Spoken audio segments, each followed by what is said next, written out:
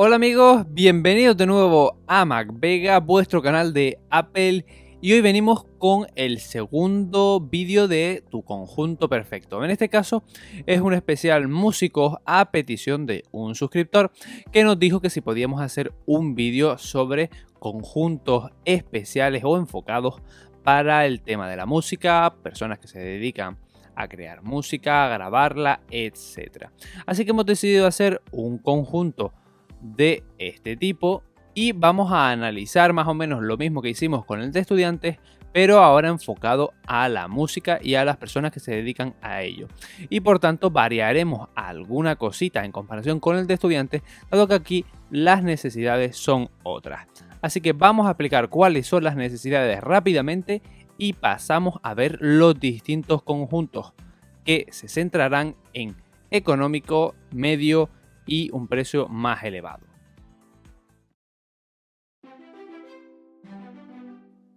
En este vídeo especial para músicos también vamos a tener una estructura parecida, como digo, a la anterior en el vídeo de estudiantes.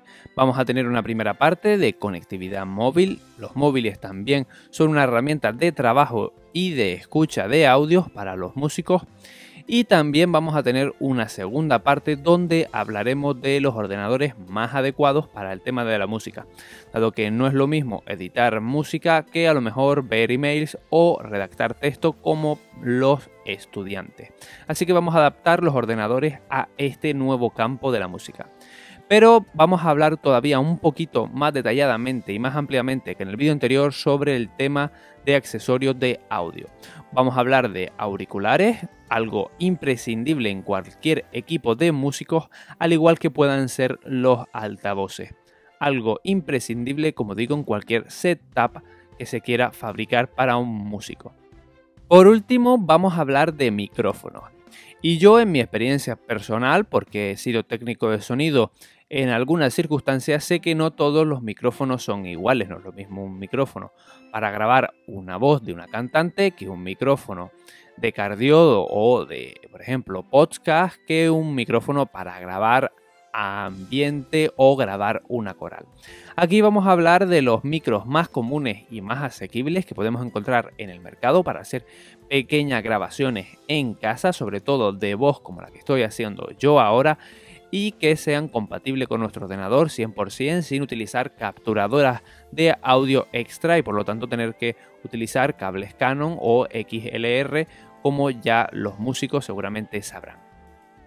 Así que vamos a empezar con el primer conjunto que es el más económico pero no por ello menos bueno que el resto. Y empezamos este primer conjunto con el iPhone 6S y elegimos este teléfono por pantalla y altavoces. Los altavoces porque son bastante buenos y muchas veces los músicos necesitan escuchar alguna pieza en la calle y este móvil puede salvarte ese momento. Y por pantalla porque el iPhone SE de estudiantes, aunque era más económico, nos parece que era demasiado pequeña por si tenías que editar algo en la pantalla en algún pequeño programa de edición que te permita el iPhone o quieres ver algunas ondas que te envíen, por ejemplo.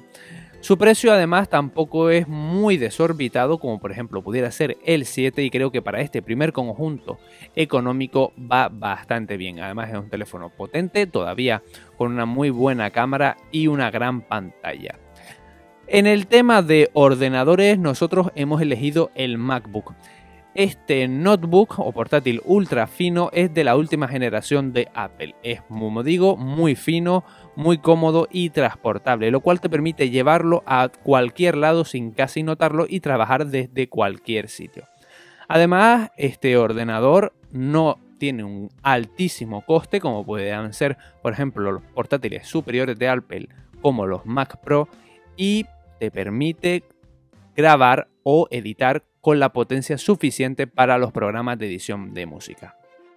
Por experiencia sé que los programas de edición de vídeo y fotografía consumen más datos que los programas de edición de audio. Así que con las características que ves ahora mismo en pantalla creo que tienes de sobra para un conjunto económico, como digo, y no sin saltarse a una cama más profesional.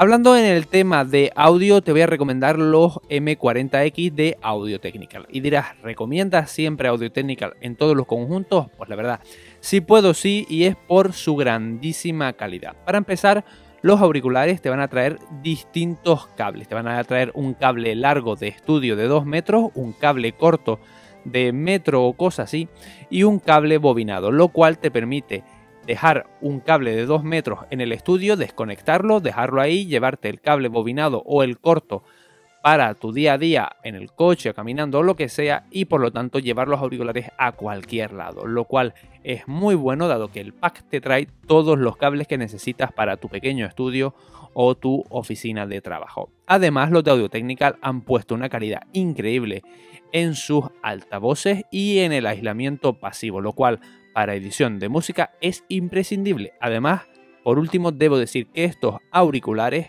no colorean el sonido, por lo tanto oiremos claramente y nítidamente lo que estamos grabando sin alteraciones luego en postproducción. Pero como sé que no todo es auricular, voy a recomendar los Logitech Z333 para monitorear si no quieres auriculares. Para un pequeño estudio me parece que vienen perfectos, son los que usamos en el canal y la verdad que con 80 vatios en cresta y 40 en RMS van de lujo, cumplen perfectamente su cometido y además si conectas los Audio Technical a estos altavoces tendrán todavía más potencia tus auriculares. En el tema de micrófonos te vamos a recomendar los Behringer C1U, que es el micrófono que ahora mismo estás escuchando en este vídeo, que es el que utilizo en casi todos mis vídeos. Un micrófono muy bueno de la marca alemana que se nota ya directamente en el peso y que es un micrófono de cardiodo. Este micrófono funciona tanto con Windows como para Mac y además te trae el Audacity gratis en CD.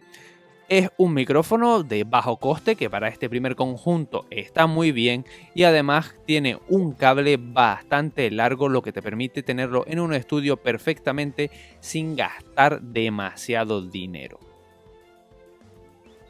Pero vamos con la madre del cordero que es cuánto me va a salir todo. Este pequeño estudio con un iPhone 6S, un MacBook, unos ATH M40X, los Logitech y el micrófono Behringer C1 te va a salir todo por poco menos de 2.303 euros. Algo bastante económico dado que si te das de cuenta te llevas un móvil portátil, auriculares, altavoces y de paso un micrófono. Para un estudio económico y para empezar yo lo veo bastante, bastante bien. Tienes todo, tienes además las cosas portátiles y por ejemplo si quieres ampliarlo puedes cambiar el micrófono o por ejemplo cuando llegas a casa puedes conectar tu MacBook a un monitor externo lo cual te va a permitir editar o trabajar con una mejor pantalla lo cual está muy bien para, por ejemplo, trabajar en un estudio fijo y cuando quieras trabajar fuera te llevas el portátil a otro lado. Pero si quieres otro conjunto un poquito más caro y que cumpla más tus expectativas, vamos con el conjunto número 2. En este conjunto número 2 sí que vamos a dar el salto de calidad y vamos a pasar del iPhone 6S al 7. Y esto es por sus altavoces. Un músico necesita escuchar todo muy bien y el iPhone 7 te cumple perfectamente eso. Y es que tiene altavoces estéreo y la verdad se nota muchísimo. Si necesitas oír cualquier cosa en la calle en un momento dado y a ese ruido, estos altavoces te ayudarán muchísimo. Así que esta es una de las principales características que tiene el iPhone 7 y por la que la traemos aquí. El iPhone 7 tiene otras muchísimas características buenas, eso obviamente lo sabemos, pero principalmente lo destacamos por su calidad de altavoces que además es en estéreo. Si ya nos vamos al mundo de los portátiles, te vamos a recomendar el Mac Pro. Esto sí que es un portátil profesional con mucha potencia y que aquí sí que debes elegir entre la versión de este año renovada o la antigua. Nosotros vamos a decirte que la antigua es la más económica, que es la que estás ahora mismo viendo en pantalla. Un ordenador todavía muy potente que te puede cumplir perfectamente con edición de vídeo, fotografía y de música sin ningún problema y que además te vas a ahorrar bastante dinero. Este ordenador, como digo, cumple perfectamente tus expectativas si lo necesitas para un estudio. Además, como digo, en el conjunto anterior lo puedes conectar a un televisor o a un monitor y perfectamente podrás tener tu estudio en pantalla grande o incluso utilizarlo en dos pantallas. Pero si este ordenador se te queda corto o quieres algo más actualizado para que te dure más años o necesitas más potencia, te traemos el nuevo MacBook Pro, lanzado este año y que a mí me tiene enamorado. Es el Mac que vimos ahora mismo, el MacBook Pro, pero más delgado. Menos volumen, menos pesado, más potencia, mejor teclado, mejor trackpad, mejor pantalla. En definitiva, han hecho una bomba de portátil. A mí la verdad me tiene loco y para trabajar debe ser maravilloso. Además, tienes la opción de tenerlo con touch bar o sin touch bar. Aunque ya lo explicamos en este canal y tenéis un vídeo en esta esquina ahora mismo, os lo vamos a recordar aquí. Touch Bar es una barra táctil como estáis viendo que se diferencia del teclado físico en estos nuevos MacBook Pro. Esta barra táctil se adapta al programa o a la situación que estemos en cada momento en el ordenador. Eso quiere decir que si por ejemplo estuviéramos en un programa de edición de vídeo, las teclas táctiles se cambiarían para ser de edición de vídeo o fotografía como estás viendo. Si estuviéramos en un programa de música, se adaptarían a esto, con lo cual tendríamos atajos táctiles a la mano de nuestros dedos y muy cercanos, lo cual nos haría mucho más cómodo el trabajo. Pero esto, amigos, hay que pagarlo puesto que el precio sube bastante como veremos al final. Pero bueno, vamos a pasar al audio y ahora te vamos a recomendar los ATH M50. Hemos subido de categoría y te recomendamos estos auriculares que son los que tenemos nosotros y estas imágenes son nuestras, puesto que tenemos estos auriculares porque son increíbles. Tienen las mismas funciones de cable, aislamiento y demás que te contamos en los M40, pero tienen una calidad de audio impresionante que ahora mismo puedes ver en pantalla y que la verdad te van a hacer las delicias. Además tienen adaptador de mini jack a jack por si lo necesitas para una mesa de audio. Además de los Audio Technical, te vamos a seguir recomendando los Logitech Z333, puesto que yo pienso que para un estudio más que esto no se suele necesitar si no queremos gastarnos mucho dinero. Así que de base vamos a dejar estos altavoces. Pero en el micrófono vamos a cambiar y ahora nos vamos a ir a un Blue Snowball o micrófono también de grabación de voz que es un poquito mejor y más caro que el C1 pero tampoco mucho más. Podéis encontrar este micro con mucha facilidad en Amazon y compañía y además es un muy buen micro que tiene una muy buena calidad. En cuanto a precios, este nuevo conjunto medio va a ser tuyo con un iPhone 7, un MacBook Pro, el antiguo, no el nuevo, unos M50X, los Logitech altavoces y el micrófono Snowball todo por 2.473 euros. Como vemos, tampoco varía mucho con el conjunto económico, pero sí que nos llevamos un mejor pack.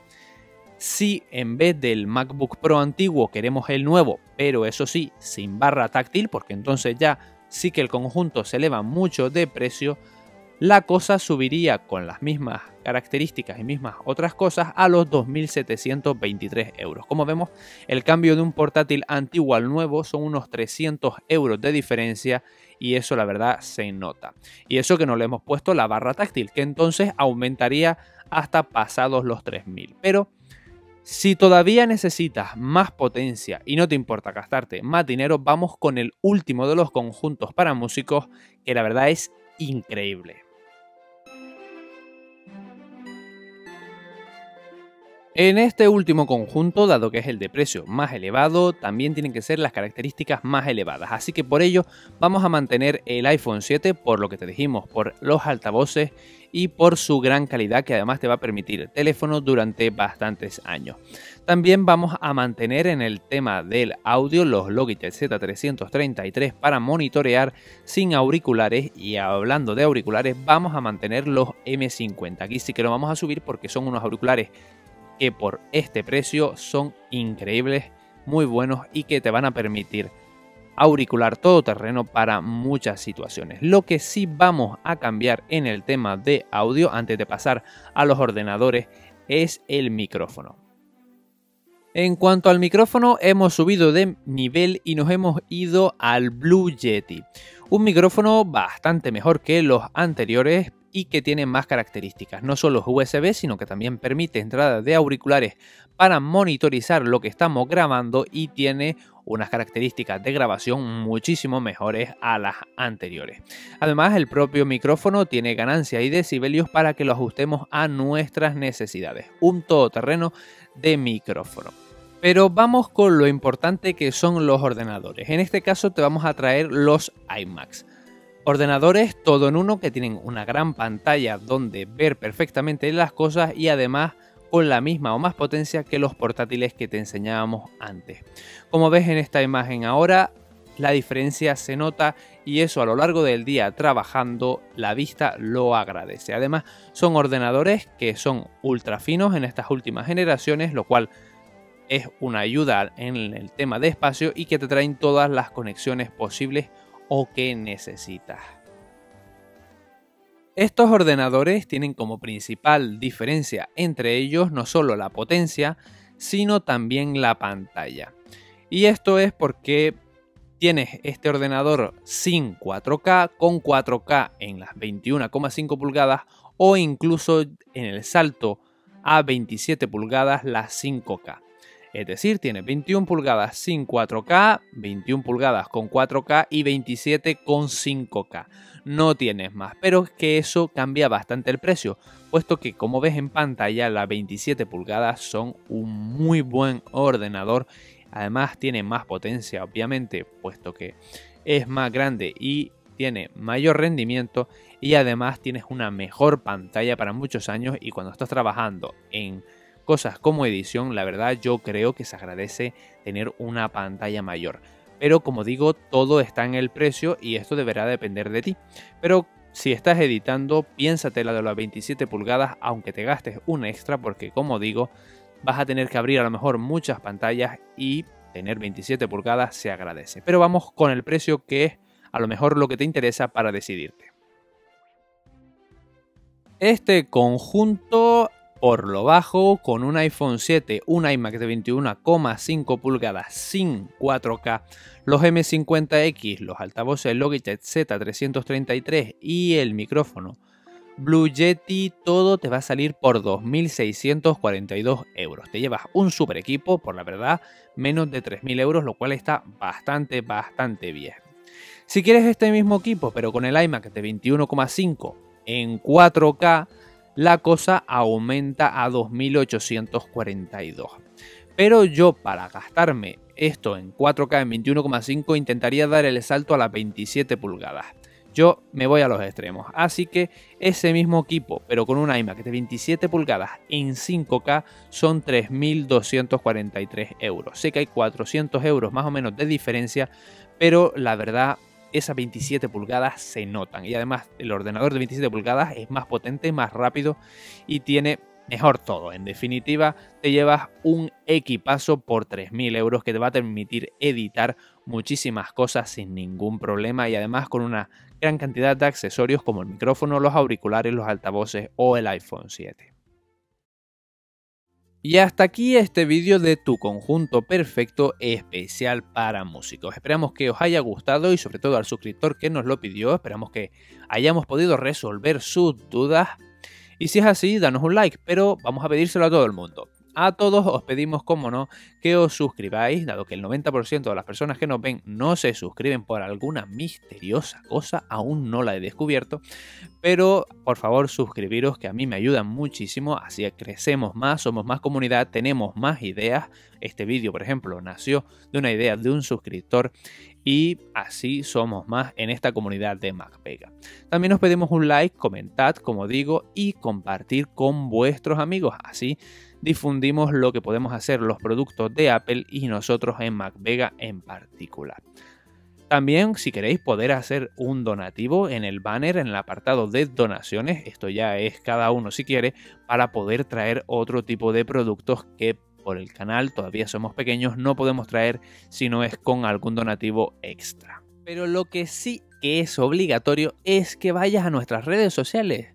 Visítanos en redes sociales, quédate con nosotros, síguenos como por ejemplo en Twitter, Facebook o nuestro Instagram donde sacamos fotos increíbles. Eso sí que es obligatorio. Nos vemos en el próximo vídeo de nuestro canal de Apple favorito. Nos vemos, como no, en MacPega.